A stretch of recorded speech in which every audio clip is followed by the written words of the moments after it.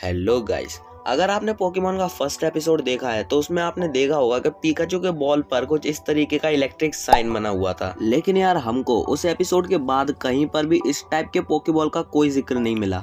हाँ अभी कुछ महान बुद्धिजीवी लोग कह रहे होंगे कि ये तो फास्ट बॉल है। तो लो, तुम्हारा डाउट क्लियर कर देता हूँ। ये देखो, ये एक फास्ट बॉल है और ये एक पिकचू बॉल है। भाई, दोनों में बहुत ज़्यादा ज़मीन आसमान का अंतर है। इससे रिलेटेड मेरे पास दो आंसर्स हैं। एक तो एनिमे रिलेटेड जो थ्योरी है वो, और एक ऑफ़ कोर्स रियल वर्ल्ड वाला जो आंसर है।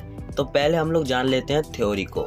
तो पहली थ्योरी जो मेरी खुद की थ्योरी है, वो ये कहती है कि हो सकता है पिकाचू के बॉल पर जो ये इलेक्ट्रिक साइन है, वो एक स्टिकर है। जी हाँ हमने एनीमे में भी कई बार देखा है कि पोकीबॉल्स पर स्टिकर्स का इस्तेमाल होता है। लेकिन वो पोकीबॉल्स काफ़ी ज़्यादा अलग दिखते हैं कुछ इस तरीके के।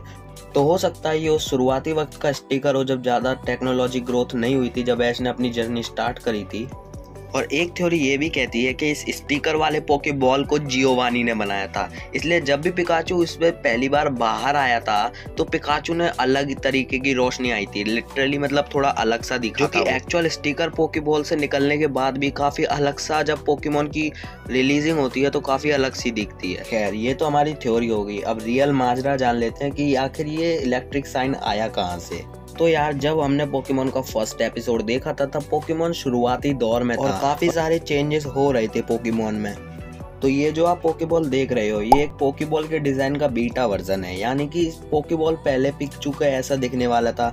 मतलब इलेक्ट्रिक टाइप के लिए इलेक्ट्रिक बॉल और फायर टाइप के लिए फायर बॉल को जिस तरीके से होने वाला था, लेकिन बाद में इसे चेंज करके पूरा ही नॉर्मल कर दिया। इसलिए हमें फ़र्स्ट एपिसोड के बाद कभी भी पिकाचू की बॉल उस टाइप की नहीं दिखाई गई या किसी भी पोकेमोन की बॉल ऐसी दिखाई नहीं गई।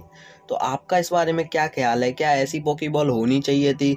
कमेंट में बताना। आज की वीडियो के लिए इतना ही। हम मिलेंगे आपको अपनी अगली वीडियो में। तब तक के लिए टाटा बाय बाय